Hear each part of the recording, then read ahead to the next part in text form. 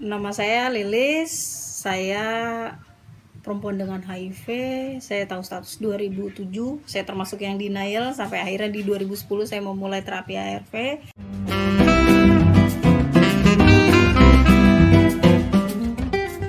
Saya kebetulan saat ini kegiatan saya saya koordinator KDS hitam putih di Depok. Saya juga aktif di IP sebagai pokal poin untuk wilayah Depok. Eh, saya juga membantu IP untuk eh, mensosialisasikan PPIA di eh, 20 provinsi. Saya juga sebagai ARV Community Support dari IAC untuk wilayah Depok.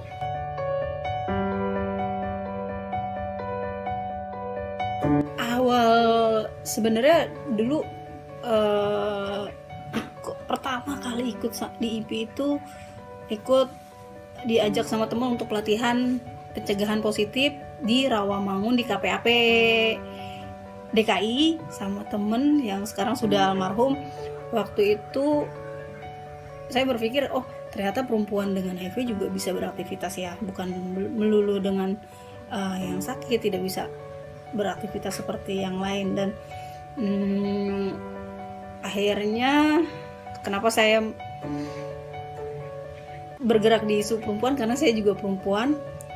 Saya pernah eh, di posisi yang mendapat kekerasan dari almarhum suami juga terus saya juga kalau nggak kita yang perempuan yang menyuarakan hak-haknya kita siapa lagi laki-laki juga belum tidak merasakan apa yang perempuan rasakan.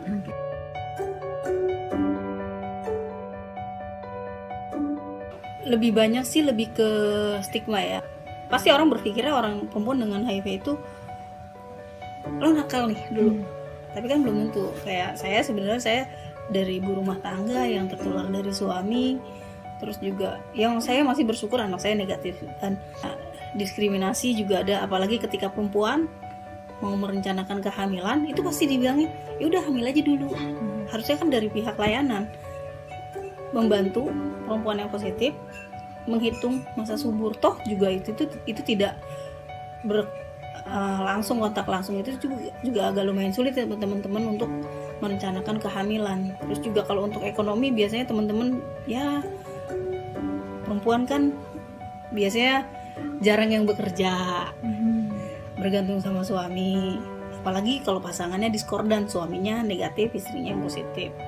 Itu kuasa di laki-laki agak lumayan menguasai perempuan gitu kan. Dan biasanya perempuan akan tunduk patuh. Ada sih beberapa temen yang akhirnya mm, nggak dikasih nafkah. Dan itu sebenarnya kan memang bentuk kekerasan ekonomi. Dan ada yang temen bilang eh, nggak di- sama suaminya nggak dikasih minum obat. Itu kan kekerasan kan? Tahu suaminya minum obat dia nggak minum obat. Suaminya bilang lo nggak usah minum obat lo nggak usah berobat lo kalau lo berobat gue nggak kasih nafkah itu juga sampai nggak nggak- ngerti. Obatnya sampai dibuang sampai saya bilang ya udah tetap minum karena itu hak lo buat sehat.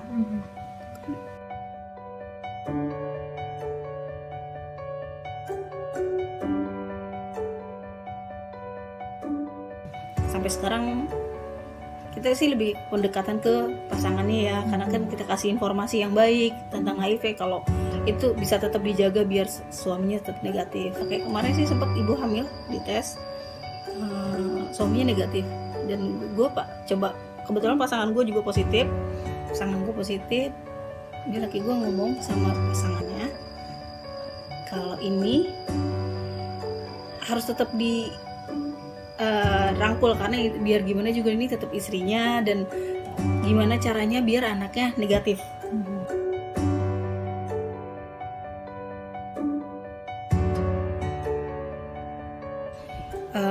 Kalau gue sih dengan buka status saya HIV juga, dengan kita menunjukkan kita HIV juga. Itu ada ada satu motivasi sendiri sih. Dan pernah dan gue rasain itu ketika ada temen yang bilang gue juga sama loh sama kayak lo. Gitu. dan itu motivasi sendiri. Dan dalam hati gue waktu itu gue bilang gue pasti bisa kayak dia bisa sehat lagi.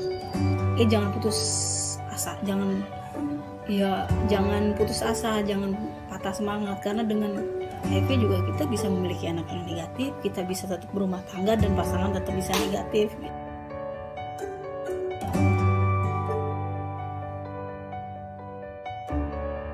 Ah, beda banyak banyak banyak perbedaan. Kalau dulu mungkin di 2013 untuk akses di Depok sendiri lumayan susah ya.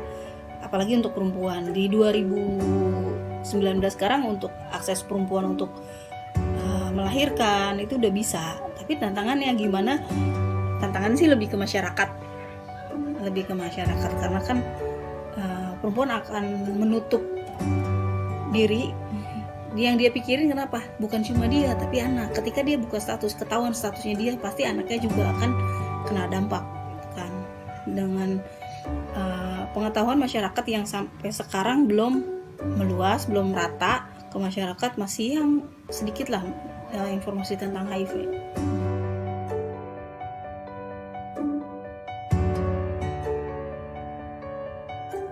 Pemerintah Depok sendiri untuk isu HIV dibilang mendukung. Tapi saya aja nggak pernah ketemu maksudnya pengen audiensi aja masalah perempuan sama anak aja lumayan susah banget gitu kan. Uh, untuk wilayah lain untuk Jakarta mungkin lebih bagus. Untuk Bandung lebih bagus karena kan Bandung pusat kota kan. Sorong layanannya bagus tapi pemerintahnya saya kurang tahu. Ke terkait lagi sama ini sih teman-teman yang ketika mau melahirkan kan butuh BPJS mm-hmm. kadang terkendala sama nggak punya KTP mm. dan karena Depok itu kan uh, baru dua rumah sakit yang bisa untuk melahirkan teman-teman perempuan yang positif itu di sentra sama RSUD.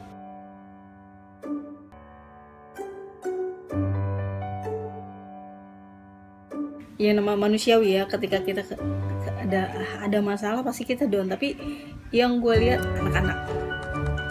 Anak-anak. Dilihat dilihat lagi kalau males ya namanya bertahun-tahun minum obat harus tepat waktu. Itu kan ada lumayan uh, buat gue sendiri lumayan agak bosen ya. Tapi gue balik lagi lihat anak-anak gue anak-anak yang jadi motivasi. Dan karena gue juga perempuan kalau nggak gue yang bergerak mungkin satu orang yang bergerak bisa mewakili teman-teman di belakang.